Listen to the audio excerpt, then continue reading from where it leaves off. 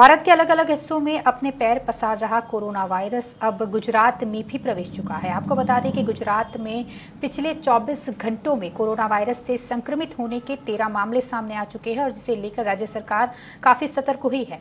आपको बता दें कि गुजरात की बात करें तो अहमदाबाद, राजकोट, सूरत और वडोदरा जैसे बड़े शहरों से यह मामले सामने आ रहे हैं, जिसमें वडोदरा शहर में भी कोरोना वायरस से संक्रमित होने के तीन मरीज़ सामने आ चुके हैं और इसी बात को ध्यान में रखते हुए, इस बात की गंभीरता को समझते हुए आज डिप्टी सीएम नितिन पटेल खुद वडोदरा शहर पहुँचे थे। उन्होंने वडोदरा शहर के एसएससी अस्पताल में स्थित आइसोलेशन वार्ड की मुलाकात ली, वहाँ पर परिस्थिति का जायजा लिया और शहर की परिस्थिति की समीक्षा की और साथ ही शहर के लोगों से अपील की कि वो भी प्रधानमंत्री मोदी के द्वारा जो जनता कर्फ्यू का ऐलान किया गया है, जो उन्होंने अपील की है, उसका समर्थन करें और सब रविवार के दिन अपने घरों में रहे और सुरक्षित रहे।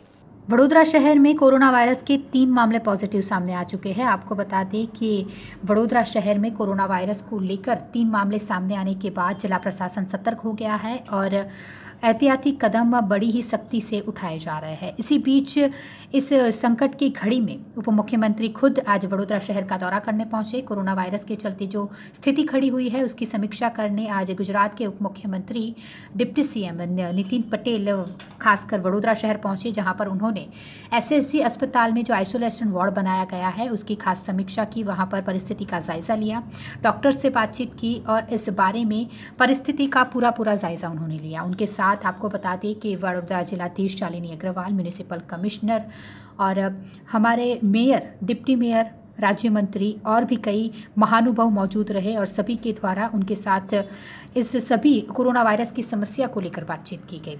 इस दौरान उन्होंने एक खास मीटिंग का भी आयोजन किया था। पत्रकारों को भी नितिन पटेल ने संबोधित किया। आपको बता दी कि सबसे पहले उन्होंने एसएसजी अस्पताल की मुलाकात ली। वहाँ पर क्या परिस्थिति है? किस तरह की सुविधा मरीजों को मुआयना कराई जा रही है और किस तरह का ध्यान जिला प्रशासन के द्वारा रखा जा रहा है? इस सभी बात की समीक्षा उनके द्वारा की गई और उस, उनके, उसके बाद उन्होंने पत्रकारों को संबोधित किया और एक खास मीटिंग का भी आयोजन हुआ। कोरोना वायरस के चलते जो भी अहम कदम, एहतियाती कदम राज्य सरकार और जिला प्रशासनों के द्वारा उठाए गए हैं। इन सब पर भी बातचीत हुई और साथ ही इस दौरान डिप्टी सीएम नितिन पटेल ने शहर के लोगों से प्रधानमंत्री मोदी के द्वारा जो जनता कर्फ्यू की अपील की गई है, उनमें शामिल होने की अपील की।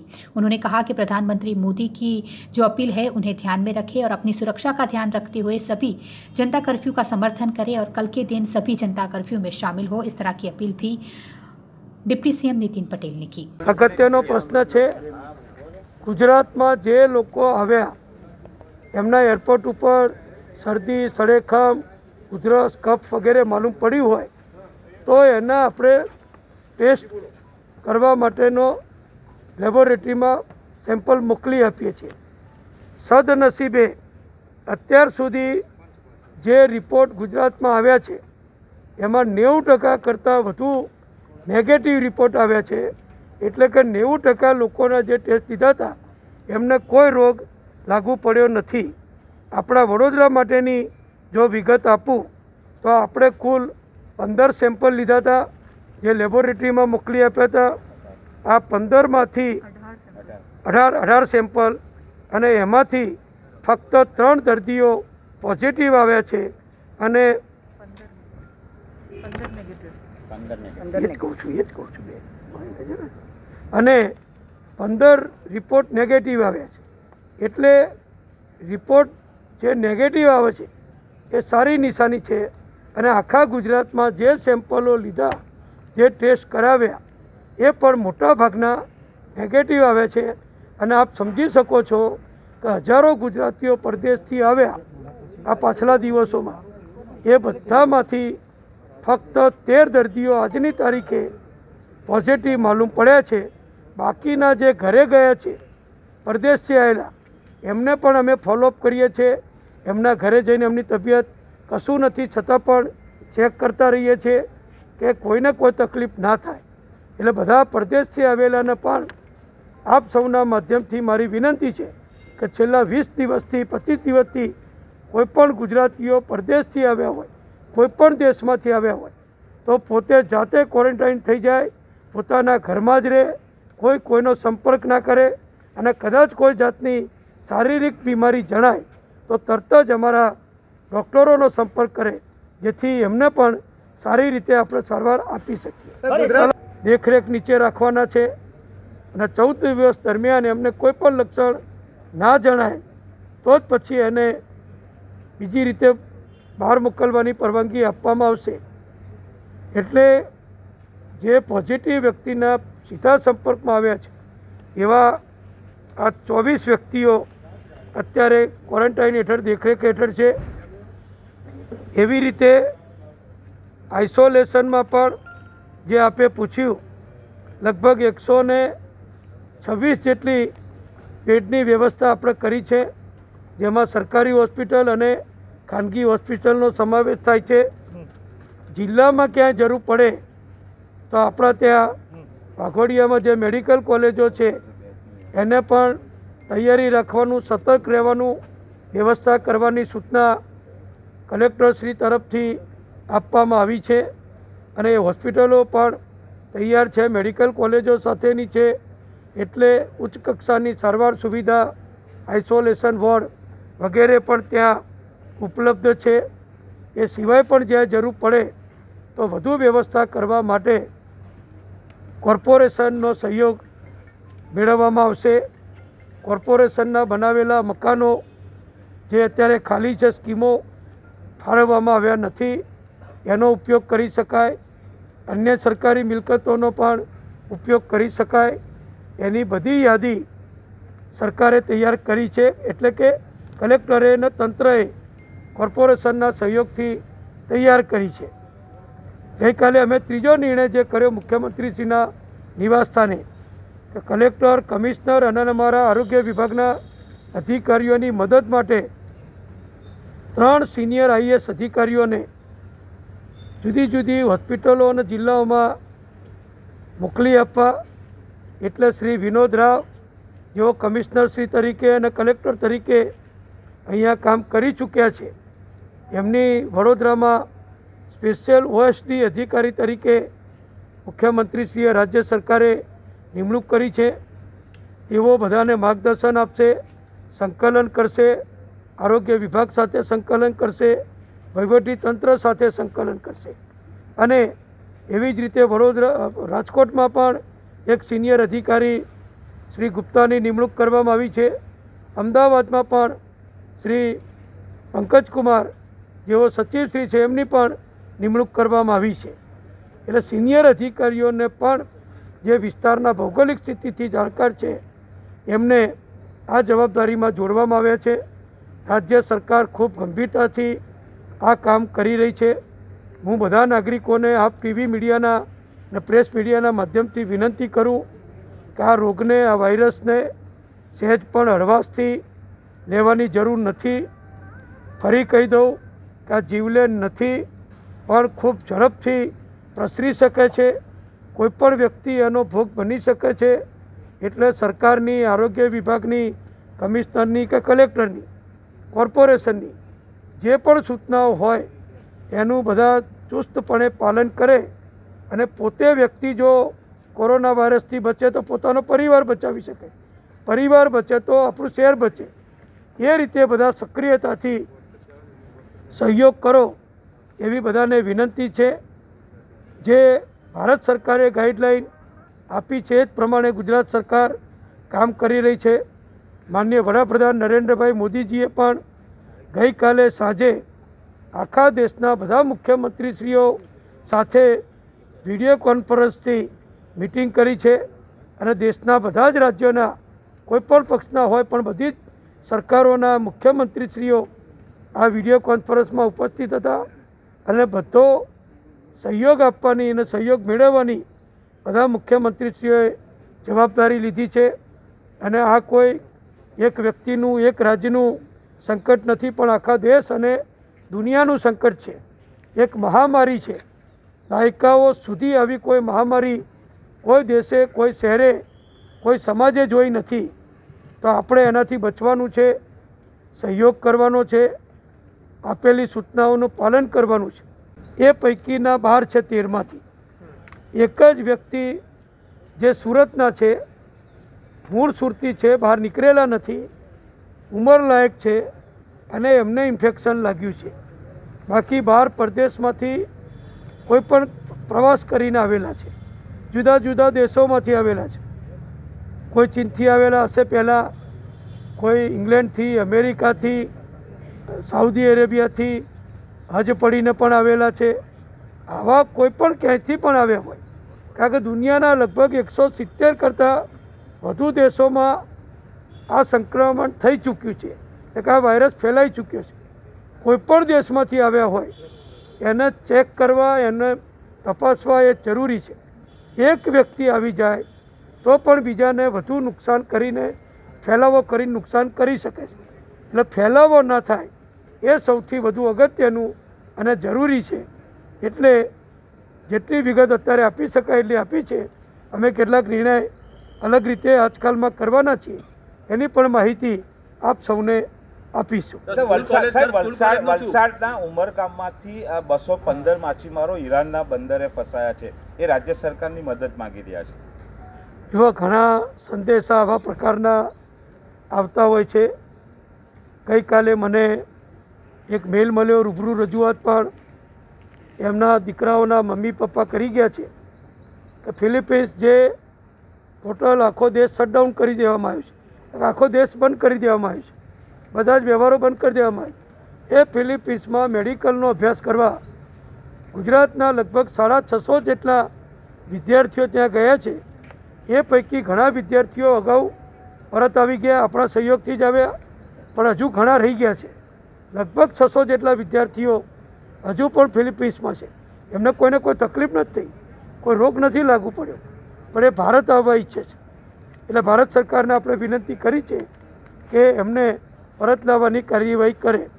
એવી રીતે ઈરાન હોય કે બીજા કોઈ પણ દેશ હોય, આપણા ભારતીયો તો આખી દુનિયામાં ફેલાયેલા છે. લાખોની સંખ્યામાં છે. બીજા દેશોમાં જ્યારે આ રોગનો વ્યાપ વધ્યો છે ત્યારે ત્યાંથી લોકો નીકળવા માગે છે. પોતાના વતનમાં આવવા માગે છે. એટલે બધાને લાવવા એ પણ અઘરું કામ છે.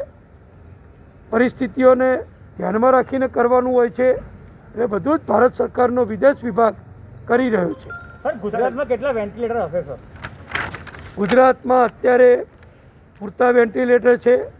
હું આપને કહું કે સદનસીબે ગુજરાતમાં આ કોરોના વાયરસના એક પણ પેશન્ટને આ મિનિટ સુધી વેન્ટિલેટર ઉપર રાખવા પડે એવી સ્થિતિ આ મિનિટ સુધી થઈ નથી.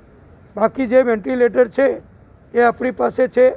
નવા ખરીદવાનો પણ નિર્ણય થઈ ચૂક્યો છે અને એનો પણ ઝડપથી ખરીદીનું પ્ર- પ્રક્રિયા આપણે પૂર્ણ કરીશું. લોકોને એકત્ર ન થવાની તમારી અપીલ છે, પણ વિધાનસભામાં એકસો બ્યાસી લોકોએ ભેગું થવું કેટલું યોગ્ય છે?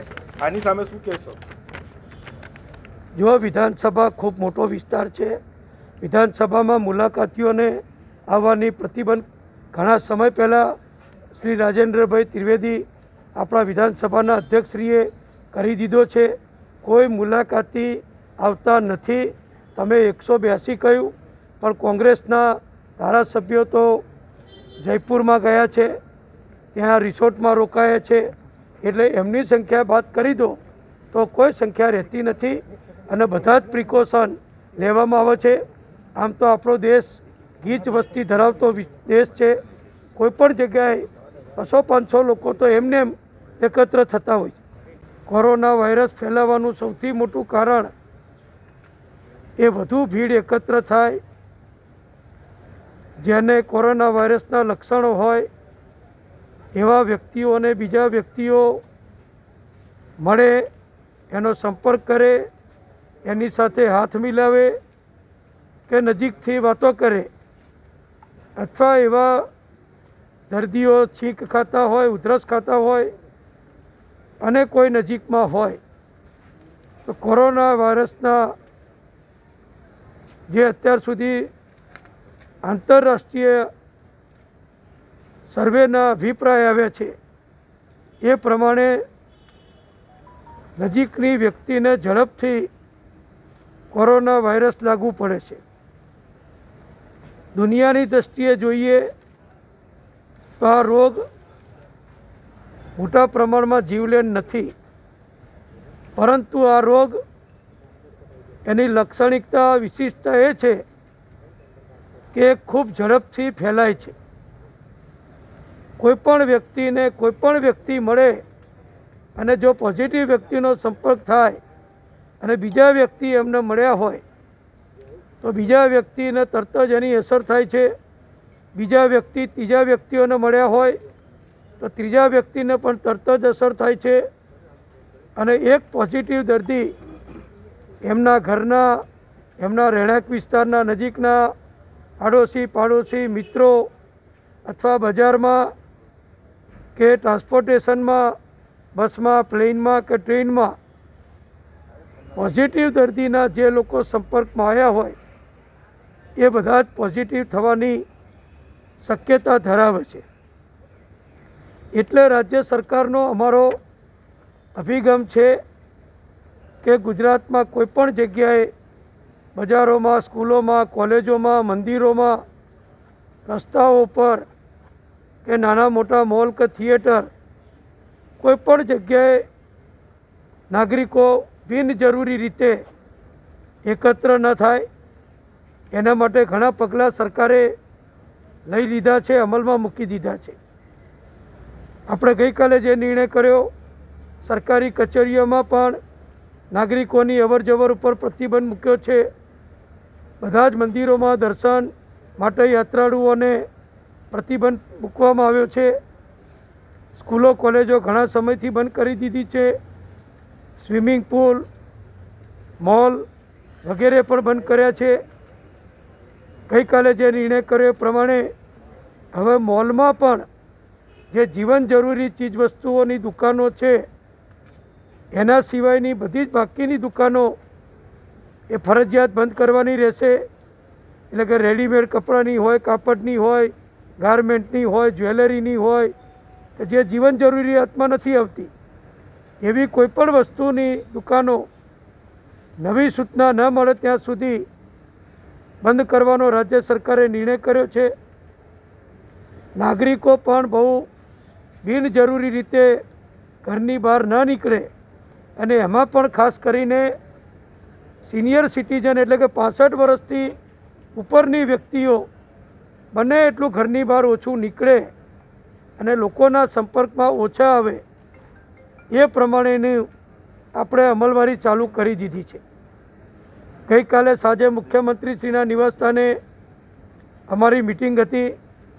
પ્રજાને અમે ઘણી વિનંતી કરીએ છીએ સંકલન કરીએ છીએ પણ સાથે સાથે સરકારી તંત્ર પણ વધુ ઘનિષ્ઠતાથી કામ કરે એ માટે અત્યાર સુધી અમે કલેક્ટરશ્રીઓ, મ્યુનિસિપલ કમિશનરશ્રીઓ ચીફ ઓફિસરો, મામલતદારો અને સમગ્ર આરોગ્ય વિભાગનું તંત્ર એ બધાના સંકલનમાં કામગીરી કરીએ છીએ વિદેશથી આવતા લોકો એ સૌથી વધુ આ રોગ ફેલાવાનું કારણ ગુજરાતમાં માલુમ પડ્યું છે.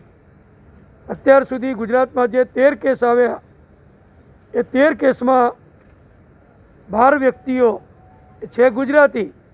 પણ એ પરદેશમાં રહીને, પરદેશમાં ફરીને, પરદેશમાં નોકરી, ધંધો કે શિક્ષણ માટે ગયેલા હતા.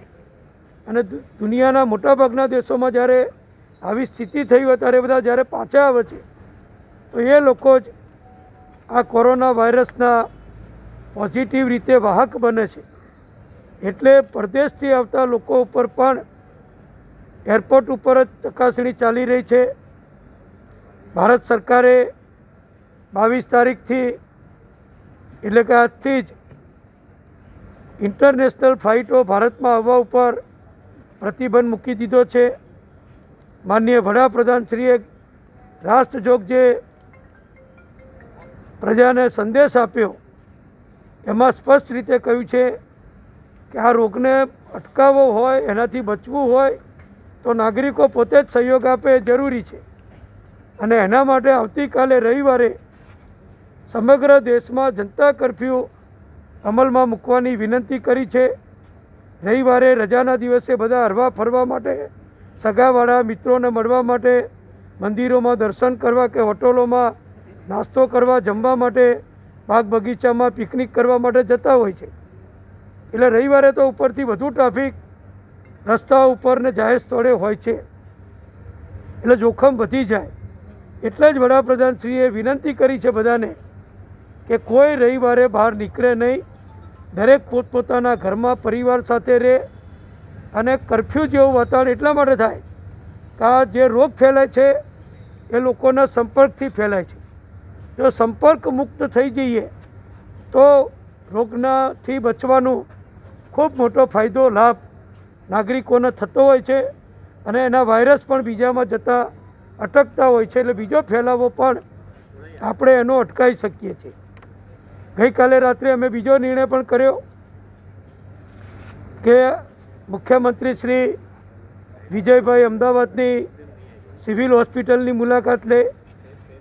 અમારા સિનિયર મંત્રી, શિક્ષણ મંત્રી ભૂપેન્દ્રસિંહજી ચુડાસમા રાજકોટ સિવિલની મુલાકાત લે અને હું વડોદરાના પ્રભારી મંત્રી તરીકે, આરોગ્ય મંત્રી તરીકે, નાયબ મુખ્યમંત્રી તરીકે વડોદરાની આપણી એસએસજી હોસ્પિટલની મુલાકાત લઉં. અધિકારીઓ સાથે, ડૉક્ટરો સાથે, સુપ્રિન્ટેન્ડન્ટ ડીન અને આ રોગના દર્દીઓની જે સીધી સારવાર કરે છે, સીધા સંપર્કમાં છે. એવા ડૉક્ટરો સાથે બધી વિગતો મેળવું. એટલે અડધો એક કલાક અમે એસએસજીમાં આવ્યા પછી બધી જ વિગતો મેળવી છે. કલેક્ટરશ્રી, કમિશનરશ્રી બધા ખૂબ મહેનત કરી. અને પ્રજાને અનેક રીતે મદદરૂપ થવાનું કામ કરી રહ્યા છે.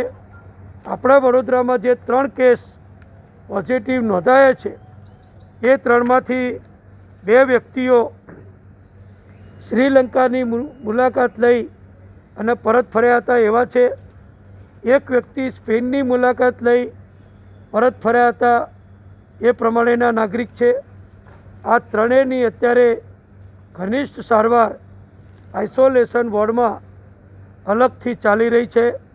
એના માટેના નિષ્ણાત ડૉક્ટરો, પ્રોફેસરો, અમારા બીજા સિનિયર ડૉક્ટરો એનું દેખરેખ રાખી રહ્યા છે અને ત્રણેયની સારવાર આપણે કરી રહ્યા છીએ. હવે આ રોગ ફેલાવાનું જે મુખ્ય કારણ સંપર્ક છે, આ ત્રણ વ્યક્તિઓ જે પોઝિટિવ છે, થી આપ સૌને વિનંતી છે, આવતીકાલે પ્રજા કોઈપણ રીતે કોઈના ઘરની બહાર ના નીકળે. સરકારે એસટી સર્વિસ બંધ કરી છે. આવતીકાલ પૂરતી વડોદરા કોર્પોરેશને પણ સ્થાનિક બસ સર્વિસ બંધ કરી છે. રેલવે પણ ચોવીસ કલાક બંધ રહેવાની છે. એટલે આખો દેશ વાહન વ્યવહારની રીતે સ્થગિત થઈ જવાનો છે. બધા બજારો, ઓફિસો, સ્કૂલો, કોલેજો અમે બંધ છે. એટલે કરફ્યુ જેવું વાતાવરણ થાય. પણ આ કરફ્યુ એ આપણા પોતાના માટે છે, આપણા પરિવાર માટે, આપણું જીવન બચાવવા માટે એ રીતે બધા સહયોગ કરે અને બધા જ સહયોગ કરીને આપણે આ કોરોના વાયરસને પડકારીએ છીએ અને એનાથી બચી અને એને ઉપર આપણે જીત મેળવીએ, ત્યાં સુધી બધા જ નાગરિકો હજુ ઘણું કરવું પડશે. એવું નથી કે કાલે કરફ્યુ પાડીએ એટલે પૂરું થઈ જાય છે. આનો વાયરસ બિલકુલ નામશેષ થઈ જાય. બિલકુલ એનો નાશ થાય. ત્યાં સુધી આપણે બધાએ સંકલન કરી અને સહયોગ કરવાનો છે. જે ત્રણ પોઝિટિવ વ્યક્તિઓ આવ્યા છે, એમના પરિવારજનોને તો જે ઓળખાઈ ચૂક્યા છે, એમને તો આપણા આઇસોલેશન વોર્ડમાં મૂક્યા છે. પણ જે એમની સાથે જુદી જુદી રીતે સંપર્કમાં આવ્યા હોય, કોઈને ખબર ના હોય ને મળ્યા હોય, એવા નાગરિકોને પણ મારી વિનંતી છે કે સામેથી તમે વહીવટી તંત્ર હોસ્પિટલના અમારા સુપ્રિન્ટેન્ડન્ટનો સંપર્ક કરો અને સહયોગ આપો, તો કદાચ ના કરે ભગવાન. અને તમારામાં કોઈ બીજી વ્યક્તિમાં પણ પોઝિટિવ લક્ષણ આવ્યા હોય, તો ઝડપથી સારવાર થાય અને તમારા દ્વારા કોઈ ફેલાવો થતો હોય, તો એ અટકી જાય. એટલે બધાને સહયોગ કરવા પણ મારી વિનંતી.